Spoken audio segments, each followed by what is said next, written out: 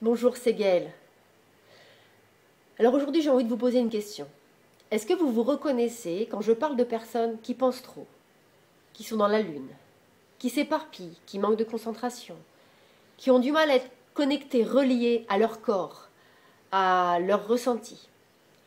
Alors si vous vous reconnaissez dans ce profil, dans cette personnalité, c'est peut-être que vous manquez d'ancrage.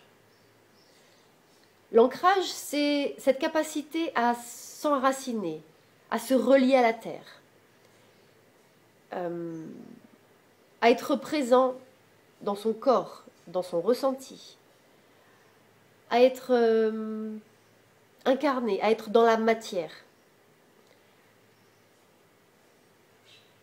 J'ai envie de vous poser une question. Euh,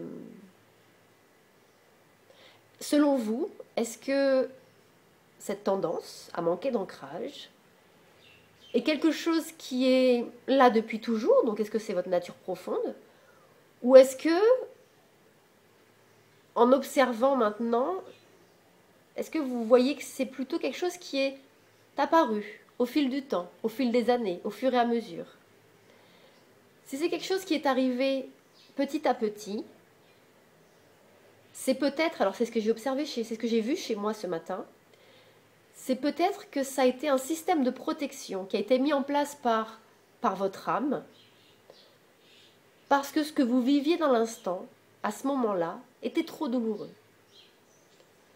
Et bah, pour vous protéger, il a fallu couper, il a fallu se déconnecter de la réalité, de la matière, et faire remonter toute l'énergie, toute l'énergie au niveau du mental.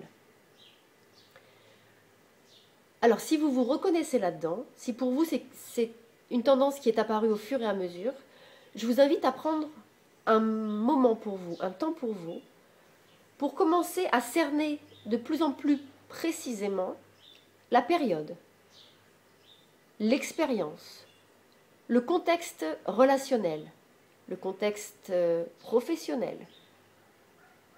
Ça peut être même une discussion. Des fois, ça peut être quelque chose qui peut sembler anodin, mais réussir à faire de plus en plus le focus sur cette expérience de vie qui a pu être euh, difficile, qui a pu être, être douloureuse, et qui a nécessité la mise en place de ce système de protection. Alors, c'est un exercice qui peut être euh, douloureux, et si ça provoque trop d'émotions, trop de souvenirs, trop de choses un petit peu lourdes qui remontent, n'hésitez pas à vous faire accompagner dans, dans, cet exercice.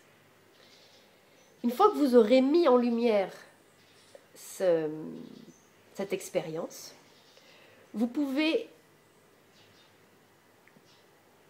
alors continuer le processus de guérison. Pourquoi je dis continuer? Parce que le fait déjà de le voir, pour moi, c'est déjà le début de la guérison.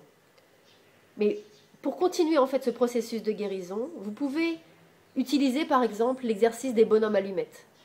Alors allez voir la vidéo que j'ai faite la semaine dernière à ce sujet. Euh, vous pouvez aussi faire une lettre de pardon, une lettre de pardon à vous-même, à l'expérience que vous avez vécue, aux personnes concernées, à la vie, à ce qui vous parle, ce qui vous vient, ce qui vous inspire. Et puis de préciser que c'est le moment de guérir cette blessure, c'est le moment d'être libéré. Demain, je vous parlerai d'exercices pratiques, justement, qui pourront venir après ce travail pour travailler l'ancrage. Je vous souhaite une agréable journée et je vous dis à demain. Bye bye.